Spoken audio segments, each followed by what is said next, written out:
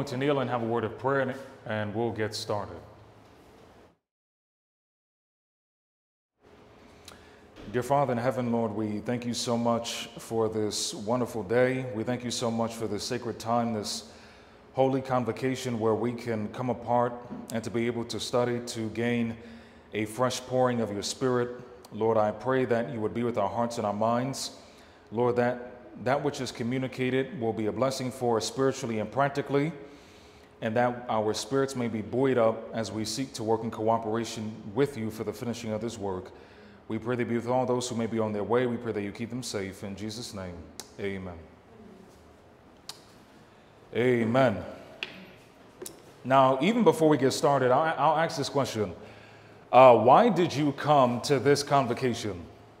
Why did you come to this convocation? Now, there's only a few of us here, so by God's grace, we'll have more time to interact. So, why did you come to this convocation? Why are you at this convocation? Did you just come to this convocation simply because this was just an event that was happening, or did you come for a very specific reason?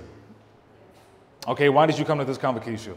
Because I see God's leading and directing my life, Okay, um, I believe in His providence He has. Yeah. set this up for me. that's good. That's good. That's very good. Uh, what about you?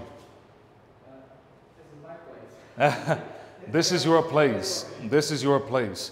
You know, we're, we're, we're told, I was, I was praying about this as my wife and I was, uh, were preparing for this, uh, these, these meetings. We are encouraged that, especially at these convocations, that this is a special and a holy time where God is really seeking to pour out his spirit upon us. And so, even though that this is just a few short days, God wants to use this opportunity to be transformative for us, spiritually, mentally, and physically. Now, does anybody know what uh, the, the title of this particular session is? Does anybody know what the title of this particular session is? All right, so I was informed that the title of this is Our Preparation and Call to the Gospel Ministry. Now, who here is in the gospel ministry? By show of hands. All right, so we're all here in the gospel ministry. So, by the grace of God, this, this is actually going to go through our experience, particularly my experience, as to how the Lord brought me into the ministry. Now, do you think it's important to understand how God leads us? Is it important to understand how to get properly into the gospel ministry? Yes, it is. Now, let's, let's turn in our Bibles to the book of Revelation. Let's turn in our Bibles to the book of Revelation. Let's turn in our Bibles to the book of Revelation. Now, unfortunately, it's already 1022. So I'm, I'm going to really try not to rush too much, but I definitely want to get to a point. So, Revelation chapter 12, starting in verse 11. Revelation chapter 12, starting in verse 11. All right, it says, And they overcame him by the blood of the Lamb and by the word of their what? Of their testimony. It says, And they love not their lives unto the what? They love not their lives unto the death. So the Bible is here bringing out the principle that we overcome by what mechanism? By our testimony. By our testimony. So what I'm going to do, I'm going to go through some of the intricacies of my experience and how this, how God segued me into the gospel ministry. Now we're going to go over some very practical points, even in this particular uh, session. All right, now what is this right here?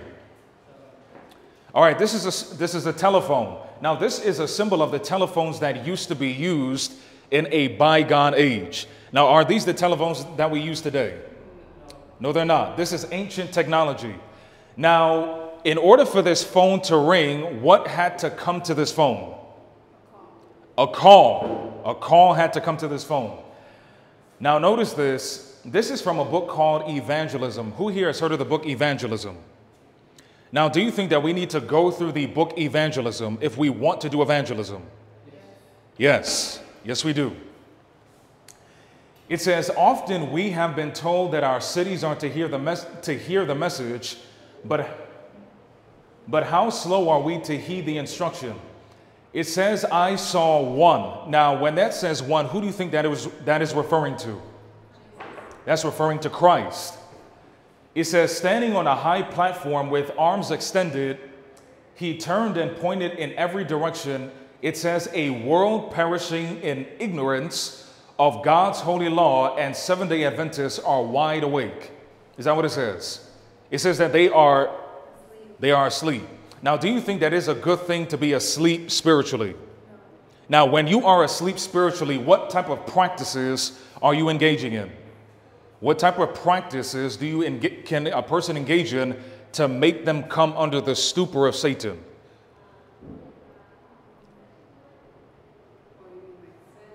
Yeah, so, so what, what, what are activities that are associated with the kingdom of darkness? Say it again. Entertainment. What else? Partying, entertainment, sexual immorality. All of these things keep us in impenetrable darkness. Now, do you think that today that Seventh-day Adventists are engaging in these type of darknesses? Yes.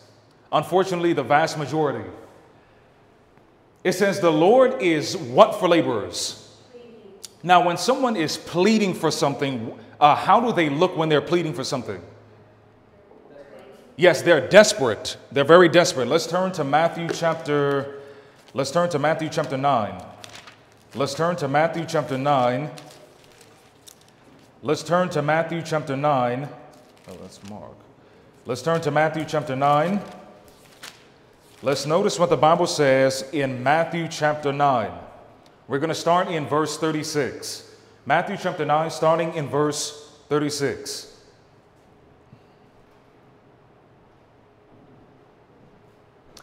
It says, But when he saw the multitudes, he was moved with anger upon them. Is that what it says? He was moved with compassion. Now, do you think that we need compassion in order to do the work of God? Yes, we're told that compassion and empathy is the very springboard of effective service. This is in the book Education. It says, Because they fainted and were scattered abroad as sheep having no what? Now, in principle, did they have shepherds? Did they have visible shepherds? Yes. Uh, who are the shepherds of the people at this time? Yes, so the religious class were supposed to be the, the shepherds of the people of God. But why did Jesus in this statement say that there were no shepherds? They weren't really shepherding. They weren't really shepherding. The Bible calls them hirelings. It says, Then saith he unto the disciples, The harvest truly is plenteous, but the laborers are, are few. Verse 38 Pray ye therefore the Lord of the harvest that he will send forth laborers into his what? Into his harvest. That he will send forth laborers into his harvest. It says, The Lord is pleading for laborers, there, for there is a great work to be done. There are conversions to be made that will add to the church, such as shall be what? Saved. Now, this is, does anybody know what Bible text this is uh, quoting from? This is taken from the book of Acts, the book of Acts, chapter 2. It says, Men and women are in the highways and byways are to be reached. Now, particularly, I function as a gospel minister with uh, various things associated but you don't have to be a gospel minister to be called to the ministry. Does that make sense? Because, in principle, are all of us called to be gospel workers? Yes, we are. We're called to win souls. All right. Now, this is a symbol of the ministry that the Lord has given to my wife and I, a ministry called Glad Tidings 3 a.m. Now, again, we're talking about the call to gospel ministry, so we're going to see some of how this call came, how this call came. All right. Anybody know who this is? This is me. This is actually me when I was younger. I was maybe about four or five years old. So the call to gospel ministry came when I was very, very young. Now let's turn in our Bibles to the book of Hebrews. Let's turn in our Bibles to the book of Hebrews. Hebrews chapter 11. Let's turn to Hebrews chapter 11. Hebrews chapter 11. We're going to start in verse 23. Hebrews chapter 11 in verse 23. Notice what the Bible says in Hebrews chapter 11 in verse 23. Now, this is a principle. Before each and every one of us were even born, did God call us to a work? Yes, he did. The Bible says that before I even formed you in the womb, that I did what? I knew thee. I set you apart. Hebrews chapter 11, verse 23, it says, By faith, Moses, when he was born, was hid three months of his parents because they saw he was a what child? He was a proper child. And they were not afraid of the king's commandment. So, when did the call for Moses to do his grand work, when did it come? When he was a child, even before he was born. Now, what was taking place among the Israelites? What were the Egyptians doing to the Israelites so as to prevent the rising up of a deliverer? What were they doing? Yes, they were killing the, the little boys, especially. And so, as a result of this, Satan understood that if I was going to kill this deliverer, I had to do it in his infancy. Does that make sense? You see, this is one of the very reasons why Satan is so intent on making sure that children go through much trauma when they're little. Does that make sense? Satan does this intentionally because very many times, a lot of the ills that we see in society is because of the trauma that many persons have experienced in their childhood. The mass shootings, the, the, the, the, the destruction, all the bombs, and all of these different type of things, a lot of times this is because of trauma experience in the adolescent. Is, is uh, molestation a very big problem in society today? Yes, it is. Are many of our little children getting molested and, and, and destroyed, whether it be little boys and little girls? You know, it's a very sad uh, statistic. I believe it's maybe like 60% of women get molested uh, through their adolescence. And unfortunately, this is a very big problem in the church. Now, do you think that there are little girls and little boys being molested in the church? Yes. Now, do you think that God is seeking to provide a solution for this issue? Yes, He is. And by the grace of God, He wants to use us as agents in order to help people dealing with these problems. So, just as a background, before I was born, uh, my mother had me when she was close to 40 years old. And my mother was the last of her, uh, her sisters to have a son. And she prayed that if she were to have a son, that she would dedicate him to the Lord. And this is why she named me Samuel. And so, through um, my upbringing and things like that, it's amazing when I think about it now. There were so many times where I could have died.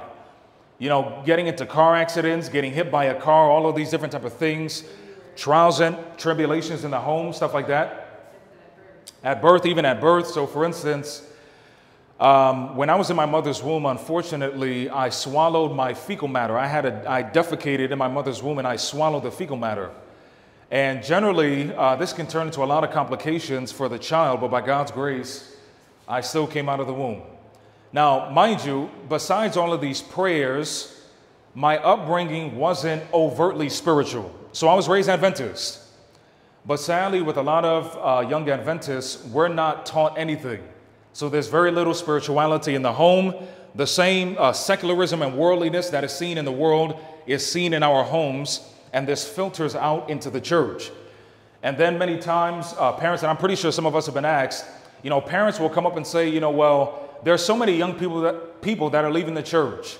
Can you please say something to my son or daughter because they have no desire for spiritual things? No desire. And the parents don't realize that because they weren't cultivating spirituality in their home, because they themselves weren't truly converted, could they actually give that to their children? No, they couldn't. Now, this is no defamation on our parents. I'm pretty sure that by the grace of God, many of them did the best that they could. All right, so this was me when I was younger. Notice, this is from the Desire of Ages. It says, Let mothers come to Jesus with their perplexities. Now, do any of us here have any children? All right. It says, They will find grace sufficient to aid them in the management of their children. You know what's amazing? In the book Ministry of Healing, it says that we need to give much more instruction on teaching parents how to raise their children. You know, many times when we have these convocations, we should actually have Uh, a section set apart to it where persons can come and teach our parents how to raise their children. Because if you spend time teaching parents how to raise their children, is this going to help assure their success in afterlife? Yes, it will. The gates are open for every mother who would lay her burdens at the Savior's feet. He who suffered, suffered the little children, said, suffered the little children to come unto me and forbid them not, still invites the mothers to lead up their little ones to be blessed by him. It says, John the Baptist was filled with the Holy Spirit from his what? From his birth. This man had the Holy Spirit from his mother's womb. Now, do you think that this is something that God only want, wanted to do for John the Baptist? Do you think that every child was to have the Holy Spirit from their mother's womb? Yes. Yes. Our body is the temple of God, yes. It says, if we will live in communion with God, we too may expect the divine spirit to mold our little ones, even from their what? Even from their earliest moments. Even from their earliest moments. All right, anybody know what this is? This is a symbol of a broken home. So unfortunately, I too had a broken home. I had a broken home. So my mother was Adventist and my father was not Adventist. And I love my mother. You know, I'm pretty sure she may watch this. She probably will. But sadly, uh, there was contention in the home. So my mother and father, they fought a lot. So even though my mother was Adventist, my father would curse out my mother and my mother would curse out my father or sometimes it was vice versa. So this was the environment in which I was brought up in. And my father as well was an alcoholic. My father was an alcoholic, and sadly, he still is an alcoholic. On top of that, uh, he delved in, in, into some uh, extracurricular uh, curricular activities. I won't get into some of what it was, but he dabbled in those things. And sadly, even though my father was doing this, my mother didn't really take the onus upon herself to be a proper Christian. And as a result of that, it only compounded the issues that I was dealing with. So, in light of my father being like this, do you think that my father and I were very close? Unfortunately, no. It's crazy. Some of the only times that we spent time together, my father would take my little sister and I to the bar. And as he was drinking his alcohol, we'd be sitting right next to him in the bar as he's doing his thing and, and, and all that stuff. And so this was the environment. And so there was a serious emotional disconnect that I had. Now, is it, now, this is just a question. How do you think it affected me, the fact that I didn't have my father's love and attention? How do you think that affected me? Yes, very deeply. Had a lot of issues, you know, anger, sadness, and all of this that I was contending with. And I remember, now it wasn't just, uh, you know, the issues my father. So we, we started having economic problems. So sometimes we got evicted out of our house. Sometimes we would have to sleep in a hotel. Sometimes we almost essentially were living in an abandoned building, even though it was, it was a house. And at times we were living in a storefront. This was the nature of what was going on. So, in light of a, a child going through this, is this going to affect you? Yes, it is. And so, what God did for me, um, just as far as one example, I remember I was uh, watching television, and my father was in the other room watching television. He was drinking alcohol. He wasn't paying me any mind, but I looked over to my father and I started crying and I was thinking in my mind, Lord, why doesn't my father love me? Why, why, why, why, how is he able to give so much time and attention to these other things, but he can't give me any love or affection? And from those experiences, the Lord used all of this trauma in order to draw me closer to him. And at 15, 16, I started realizing that God was permitting me to go through this to help build my character. And I'm very fortunate that, that, that, uh, that, that I was willing to open up my heart to these things because a lot of times what happens when we as young people, especially you know, when we're in our teenage years, our formative years, when we go through issues, Satan uses this as a means in order, in order for us to drift away from God. And many of us do this. I had many friends, I'm pretty sure was with some of us. I had many friends that I went to church with, and I mean many, many young people in, in the general vicinity. And I can really only point to a handful of the young people that I grew, grew up with that are even still in the church. And even the ones that are in the church, they're not really spiritual. They're not even remotely converted, not even remotely. And so, unfortunately, I was growing up in this broken home, but God used this as an opportunity. Now, does anybody know who this man is? Joseph. Now, was Joseph a man of God? Yes, he was. But did it take time for his character to be built? Yes, yes, it did. All right, now let's turn in our Bibles. Let's turn in our Bibles to the book of Genesis. Let's turn in our Bibles to the book of Genesis. Let's turn our Bibles to the book of Genesis. Turn our Bibles to the book of Genesis, and we're going to turn to chapter uh, chapter 30, chapter 39. And we'll, we'll actually start in verse 30, uh, chapter 38.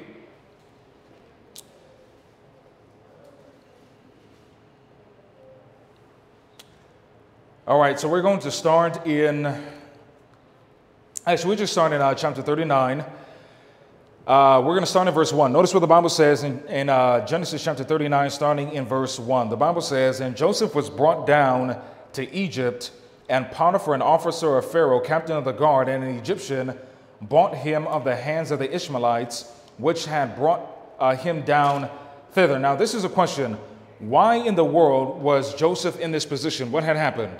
Why was Joseph in this position. I'll say it again. He was sold as a slave. He was sold as a slave into Egypt, and unfortunately, he was brought down to that place and he was made a slave. Now, we're not going to go through his whole experience, but the point that we really want to focus on was this travail, this traveling down into Egypt. Now, if you were about to be sold into slavery, what do you think your mindset would be? What do you think your mindset would be? Naturally, despair. Naturally despair. Okay, what else? Anybody else? Fearful. Say it again. Fearful. fearful, yes, very fearful. Very, very fearful. Hopeless. Now, was Joseph a prosperous man in Egypt? Yes, he was. That's what the Bible says. But that experience was not always like that. Notice what Patriarchs and Prophets says. This is actually from education. It says, this, we're going to read this verse. It says, all, notice the statement. All who in this world render true service to God or man receive a preparatory training in the school of happiness. Is that what it says? In the school of sorrow. You see, sorrow in this life is necessary to build men and women. There is no one that has ever accomplished anything in this world of note that has not gone through sorrow and suffering whether it is in spiritual or religious lines, whether it's in economics, sports, whatever the case may be, a person has to go through sorrow and suffering in order to accomplish that which is great. But especially when it comes to the work of the Lord. It says, the weightier the trust, the higher the service, the closer is the test, and the more severe the what? The more severe the discipline. So, if you're really going to accomplish great things for God, you have to go through severe discipline. How long did it take Moses to be prepared to lead Egypt? Now, was it really 40 years?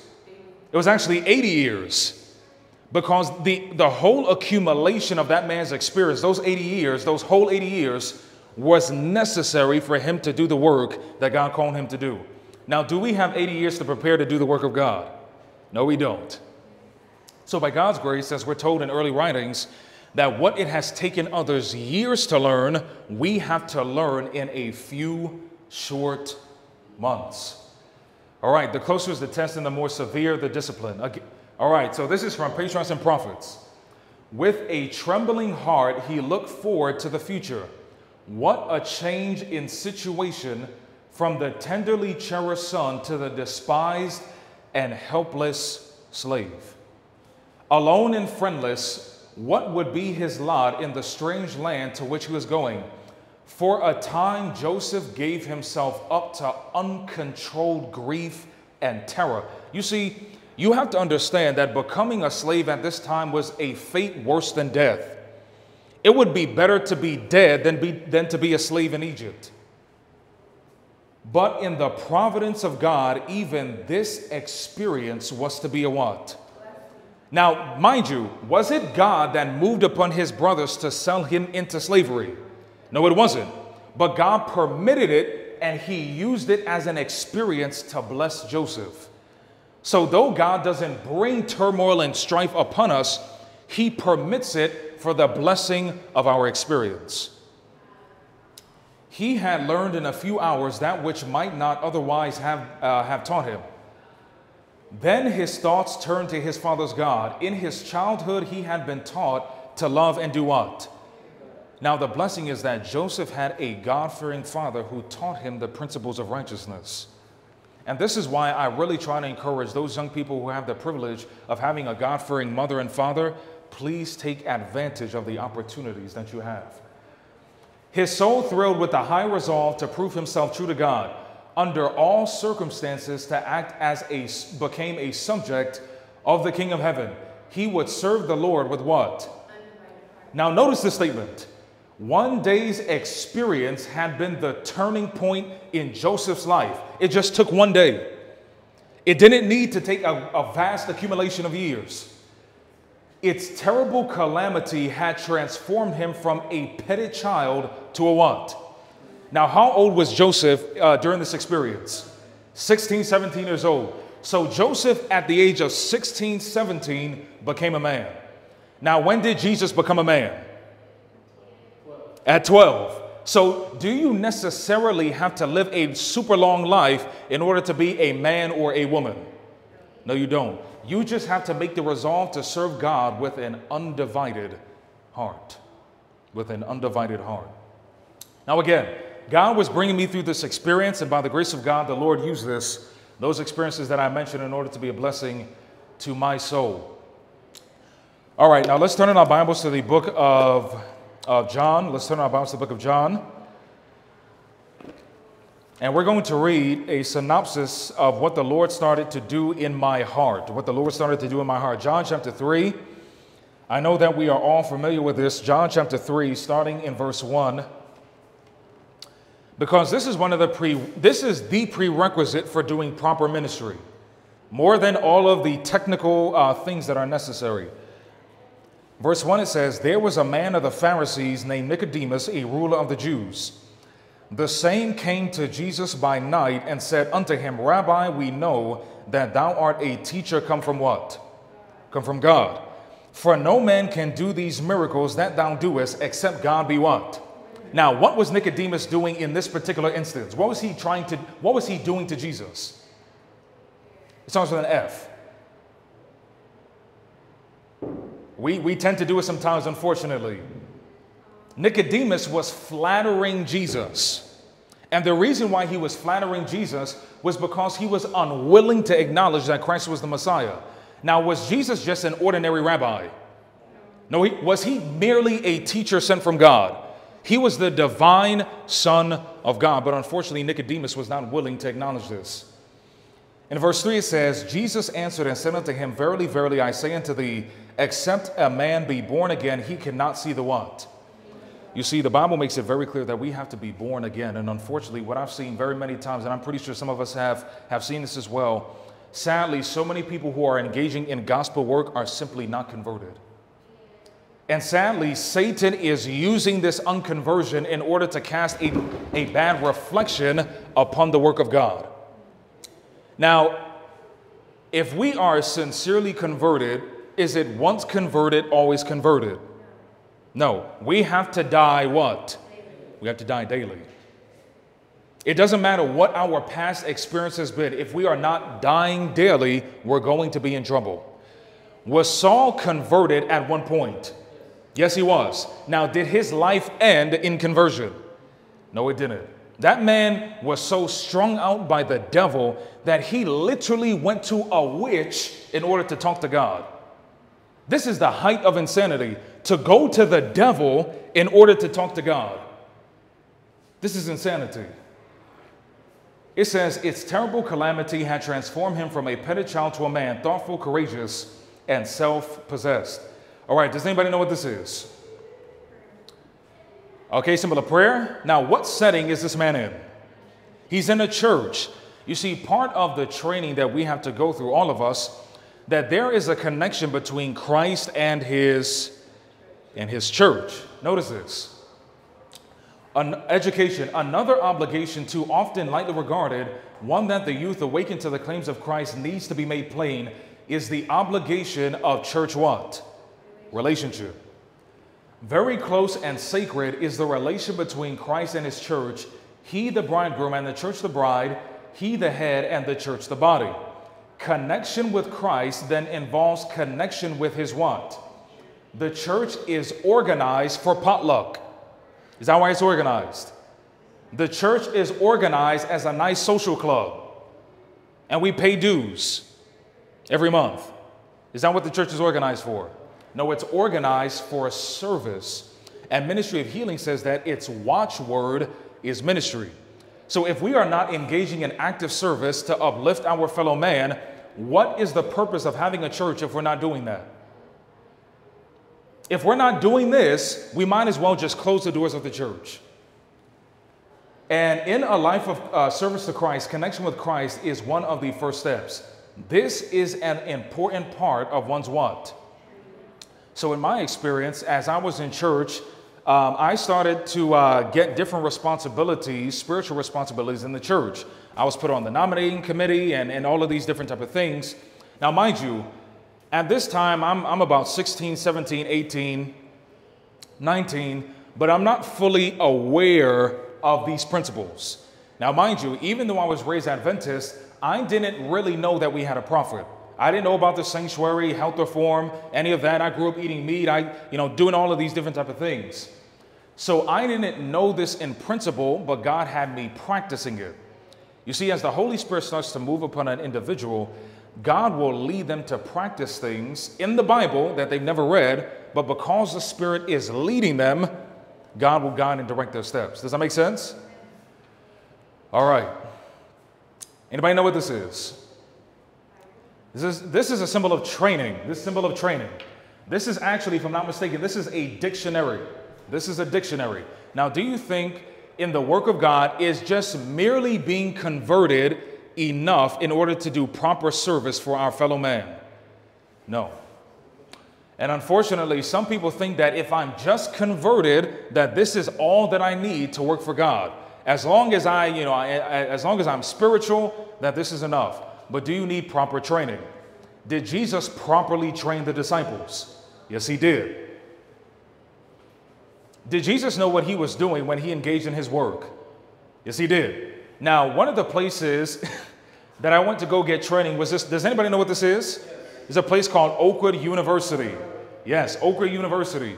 Now, is, is this a secular school or a Christian school? This is not just a Christian school, this, this is a Seventh day Adventist institution. Now, notice this this is taken from fundamentals of Christian education. We're getting to a point. The youth are to be encouraged to attend our what? Follow me, follow me. Which should become more and more like the schools of the what? The schools of the prophets. Who here has studied the schools of the prophets? Like, really in detail, studied the school of the prophets? I wish we had time to go through that. Our schools have been established by who? So did, was our, were our schools established by the board? Were they established by the denomination? Who are they established by? Now, does God use these mechanisms in order to do things? But who is the initiator of the institution? The Lord. Now, remember, I'm talking about training. Talking about training. I had to go through training in my experience. It says, and if they are conducted in harmony with his purpose. Now, what is the purpose of God in the earth right now? What is God's purpose in the earth at this particular time? There's a, there's a particular purpose. Well, say it again. Yes, so to prepare a people to stand true to God in the investigative judgment. We're told that this is the purpose. The, youth, now, notice the purpose of our institutions. The youth sent to them will quickly be prepared to engage as lawyers and doctors and, and engineers. Is that what it says? What does that say? The various branches of what? Of missionary work. So, were our schools established to train engineers? Were they established to train astronauts? They weren't established to do these things. Some will be trained to enter the field as missionary nurses not, and notice, not just nurses, but missionary nurses. Is there a difference between a nurse and a missionary nurse? Yes, there is. Some as canvassers, some as evangelists, some as teachers, and some as gospel ministers. Does that make sense? Now, unfortunately, is this institution fulfilling that objective? Now, Oakwood University is just a small microcosm of a larger problem. Anybody know who this man is? Now we, we, now we should know who this is. Yes, Martin Luther. If it was not for the labors of this man, we would not be here today. If it was not for this man, quite possibly we would still be under the domination of the papacy right now. Notice what the man said I am much afraid that the universities will prove to be the great gates of what? Of hell. Is that a serious statement? Do you think he was just playing around? No, he wasn't. Unless they diligently labor in explaining the Holy Scriptures and engraving them in the hearts of the youth. I advise no one to place his child where the Scriptures do not reign what? Now, mind you, this does not mean that, that a Christian education is merely studying the world system and merely praying before class. That is not Christian education. When this says the scripture being paramount, this means that literally every subject is taught from the Bible. Whether it's chemistry, biology, physics, it doesn't matter what it is, it is to be taught from the sacred writings. Well, somebody says that this is foolishness. How in the world can you teach physics from the Bible? Now, can you teach physics from the Bible? Of course you can. Now, who is the God of physics? Who's the God of chemistry? Who's the God of astronomy? Who's the, who is the God of botany? God. But unfortunately, because we, we, we think that we need the world system of and methodology of thinking, this is the reason, sadly, why the scriptures do not reign paramount. Notice, every institution in which men are not unceasingly occupied with the word of God must become what? Brothers and sisters, this is very solemn. Do you know God has ordained this particular institution, Butler Creek, this institution that we are now, to fulfill a mighty and glorious purpose. A mighty and glorious purpose. We're going to get into that. Notice, this says, Our school was established not merely to teach the sciences, but for the purpose of giving instruction in the great principles of God's word and in the practical duties of everyday life. Notice this statement. This is the education so much needed at the present time. If a worldly influence is to bear sway in our school, then sell it out to worldlings and let them take in the entire control. Is that a serious statement? That's a serious statement. So if a worldly influence is bearing sway at this institution, Loma Linda, Walla Walla, Andrews University, the divine counsel is that the institution should be sold to worldlings and they should gain the entire control. You see, part of the reason why many times persons, you know, especially, you know, as we communicate these, you know, in different places, some person may be tempted to think that this type of counsel is too extreme. Now, why do you think a person would be tempted to think that this type of counsel is too extreme? Why do you think? Why do you think a person would be tempted to think that this type of counsel is too extreme? We're not converted, okay? Now, is it possible to genuinely be converted but just to be ill informed? Yes. Now, are there many uh, God fearing Christians who observe Sunday as the Sabbath? Are they genuinely converted? Yes. Are they ill informed? They're ill informed. You see, Exactly. The Bible says that where there is no vision, the people do what? We don't know the vision anymore. We don't know the vision of Seventh day Adventism. So, as a result of that, we think that institutions running on this worldly system, that there's nothing wrong with it. But that's not our point. We're going to go jump down. Does, has anybody ever heard of this institution?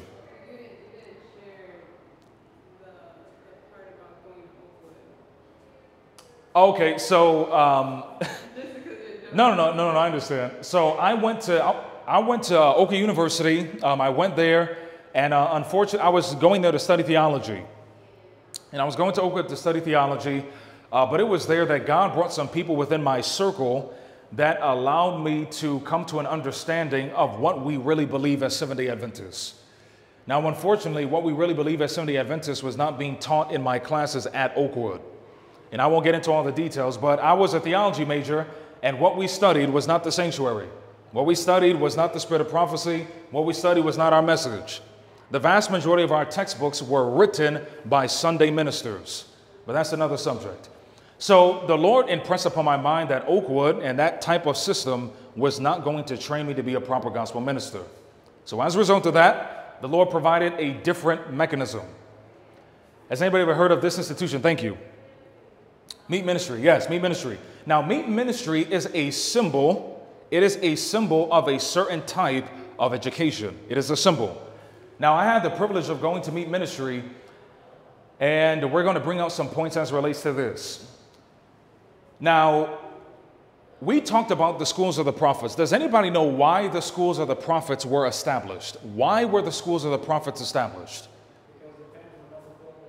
Okay, so the parents weren't doing their job. The parents weren't doing, and what was the, the, the role of the parents? What were they to do with the children? So they were to educate their children. Now, these primary institutions that we had as Seventh day Adventists, this was as a means to train and teach Seventh day Adventist young people. Unfortunately, because our institution started to backslide, now our institution started to backslide long before any one of us were even born. Our institution started backsliding while Sister White was still alive. So as a result of that, God provided a different system of education. Anybody ever heard of Madison? Anybody heard of that institution? Has anybody ever heard of Avondale? Anybody ever heard of that institution? This was to be a symbol of the type of education that we were to have as Seventh-day Adventists.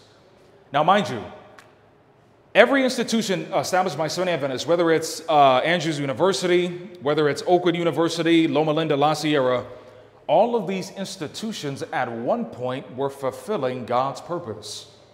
At one point, all of them had large amounts of land, all of them were doing trades, all of them were, were training gospel workers. But unfortunately, it veered off the beaten path. All right, we're going to come, come to a close. I know it's 11 o'clock. It says to meet this growing evil, God provided other agencies as an aid to parents in the work of education. Notice, for the training of such a class of teachers, Samuel, my forefather, by the Lord's direction, established the schools of the what? Established the schools of the prophets.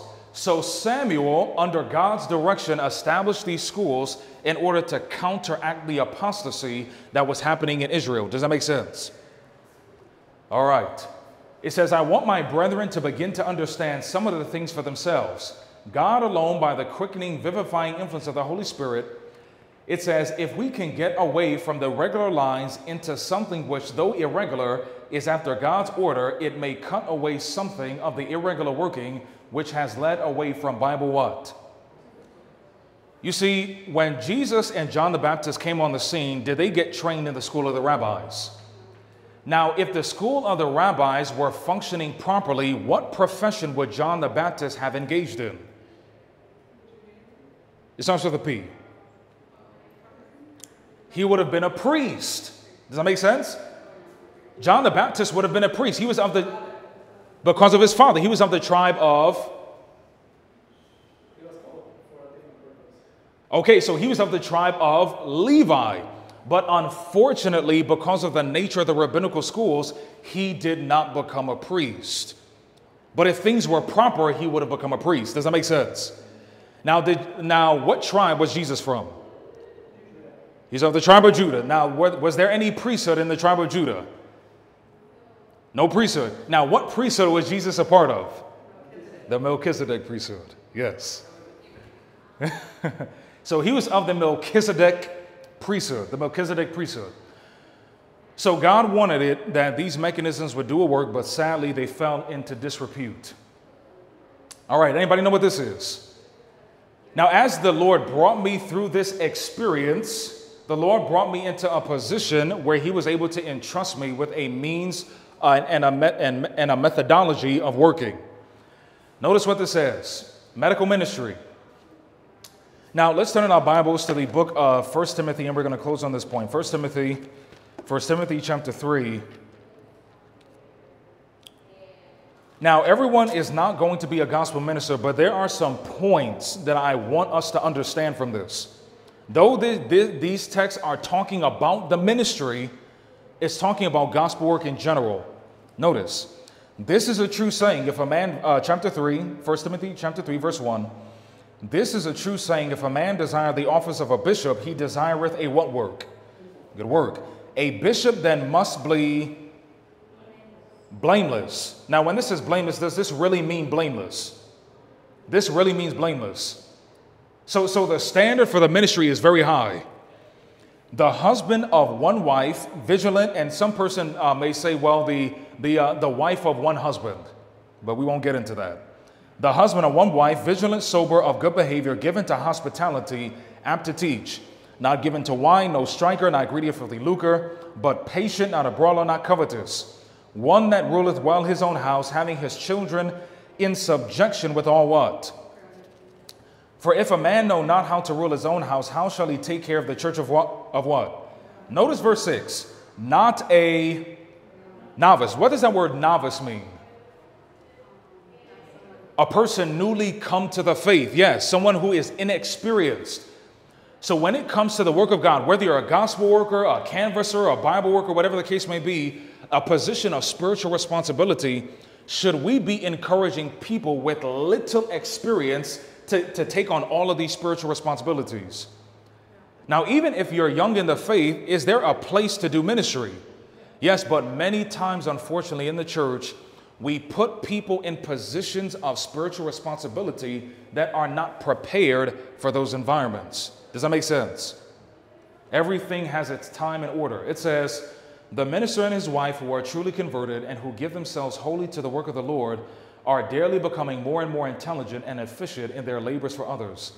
They can open the scriptures to souls in such a way as to bring light to minds in darkness. So, though this was not super extensive, this was just an illustration of how God has led me in my experience into the gospel ministry. And I really hope that by God's grace, these principles have been a blessing uh, to us in our own experience.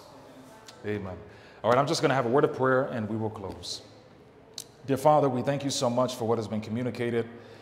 I pray, dear Lord, that you would please uh, continue to be with us as we go through this day of preparation. The Sabbath is soon to come in a short time. I pray they be with all those who may be on their way. Keep them safe. In Jesus' name, amen.